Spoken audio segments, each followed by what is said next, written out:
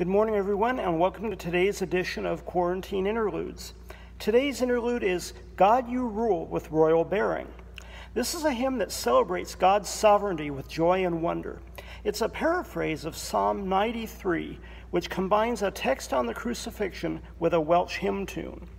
The text is attributed to John Keble from 1839 and was set to music by William Owen in 1852. God, you rule with royal bearing, clothed in glory, love, and light. You have robed yourself majestic, robed yourself with power and might. Hallelujah, hallelujah. God who rules in depth and height, God who rules in depth and height.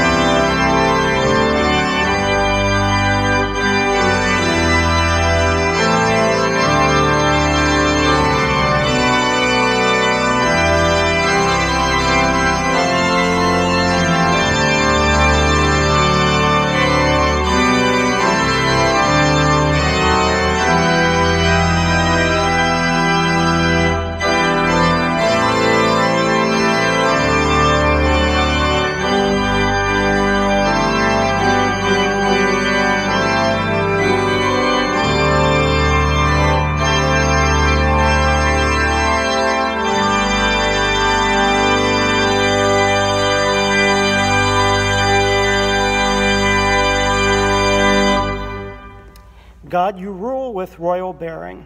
And just another friendly reminder to please continue to check the church's COVID 19 response page on claremontpres.org so you know everything that your church is doing.